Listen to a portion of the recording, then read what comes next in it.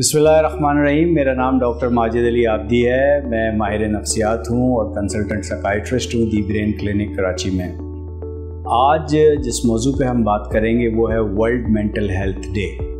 World health organization यानी जो आलमी इदारा बरए सेहत है, इसने दुनिया भर में 10 अक्टूबर को जहनी सेहत का आलमी दिन मनाने का कुछ अर्सा पहले फ़ैसला किया और ये बात इस वजह से की गई कि दुनिया भर में जहनी अमराज जो बहुत तेज़ी से बढ़ते जा रहे थे, लेकिन चूँकि बहुत सारे मुल्कों में सेहत भी उनकी शायद फ़र्स्ट प्रायोरिटी नहीं है तो जहनी सेहत तो फिर बिल्कुल ही पीछे रह गई। और उसकी वजह से हुआ ये कि बेतहाशा मुल्कों में चूँकि लोग जहनी सेहत का इलाज नहीं कराते प्रॉपरली तो इस बात की ज़रूरत को महसूस किया गया कि आवाम में शूर बेदार किया जाए और आगाही की जाए।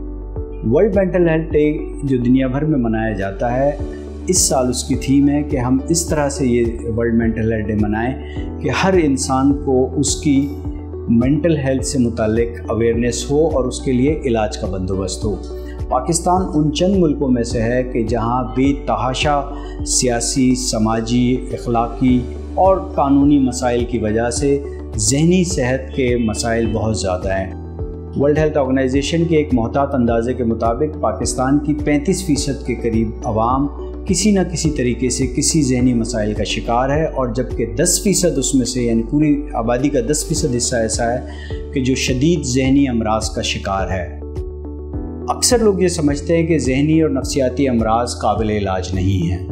ये एक बहुत पुरानी मित है एक ज़माने में कहा जाता था कि वहम का इलाज तो हकीम लुकमान के पास भी नहीं है, लेकिन मॉडर्न दवाइयों में ऐसी दवाइयाँ मौजूद हैं कि इवन वहम का भी इलाज नहायत आसानी से हो जाता है।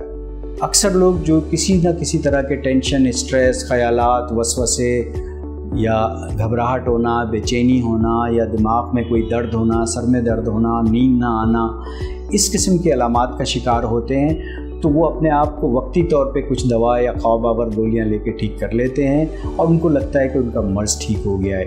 ये बिल्कुल गैर मुनासिब अप्रोच है, उनको चाहिए कि अगर किसी भी तरह से इन अलामत का शिकार हैं तो ये यकीनन किसी न किसी तरह का कोई जहनी या नफसियाती मर्ज़ हो सकता है। और ये अमराज बहुत छोटे मर्ज़ हैं, आराम से काबिल इलाज हैं। और आजकल मॉडर्न दुनिया में जो इन अमराज का इलाज होता है, वो ऐसी दवाइयों से है, जिन दवाइयों जो ख्वाब आवर दवा नहीं होती, नशा आवर दवा नहीं होती। अमूमी तौर पे ये लोग समझते हैं कि जो दवाइयाँ दिमागी अमराज के डॉक्टर्स लिखते हैं, वो नींद की गोलियाँ होती हैं या नशावर गोलियाँ होती हैं। ये ज़माना बदल गया है अक्सर जो जहनी और नफसियाती अमराज हैं, ये दिमाग के मुख्तलिफ़ न्यूरो ट्रांसमीटर की डिस्टर्बेंस की वजह से हैं और ये जो न्यूरो ट्रांसमीटर हैं, इनको किसी तरह से हम ये कह सकते हैं कि एक तरह से ये दिमाग के लिए विटामिन के तौर पर काम करते हैं। तो जो दवाइयाँ आजकल इन अमराज के लिए इस्तेमाल होती हैं, वो दवाइयाँ इन्हीं विटामिन यानी न्यूरो की डिस्टर्बेंस को ठीक करने के लिए होती हैं और इनमें से अक्सर दवाइयाँ सुबह के टाइम पर खाई जाती हैं, यानी कि वो नशा आवर या ख्वाब आवर दवा नहीं होती। तो इस प्रोग्राम के तवसत से मेरा आप तमाम लोगों से ये गुजारिश है, अगर आप अपने आसपास किसी भी ऐसे शख्स को देखेंगे जिसके रवैये की वजह से आपको ऐसा लगे कि उसको किसी भी तरह का जहनी टेंशन, स्ट्रेस या मसाइल का शिकार है तो उसके इलाज का बंदोबस्त कराइए, क्योंकि सेहत हम सब के लिए ज़रूरी है और हमारी सेहत कभी भी मुकम्मल नहीं होगी अगर हमारी जहनी सेहत ठीक ना रहे। जान है तो जहान है।